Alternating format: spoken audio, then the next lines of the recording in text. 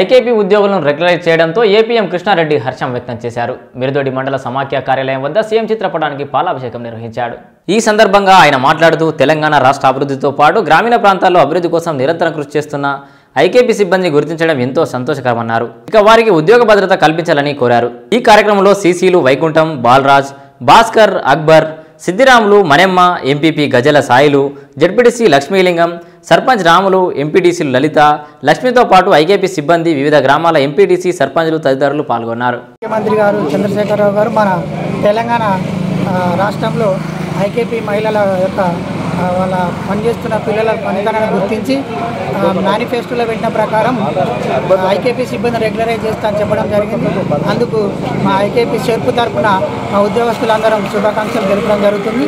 Sir ఇన్ని రోజుల తర్వాత తర్వాత మన యొక్క సిబ్బంది యొక్క మీరు పనిని గుర్తించి నాకు రెగ్యులరైజ్ చేస్తానందుకు మా సిబ్బంది తరఫున అందరికీ అందరి తరఫున మేమందరం మీకు ధన్యవాదాలు తెలియజేస్తున్నాం సార్.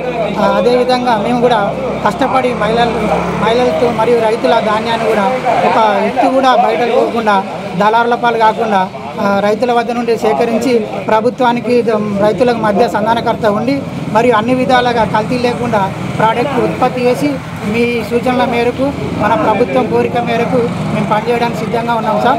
దయ మమ్మల్ని గుర్తించి మాకు రెగ్యులరైజ్ చేస్తున్నందుకు మా సిబ్బంది తరఫున అందరి తరఫున మేము ధన్యవాదాలు తెలియజేస్తున్నాం సార్.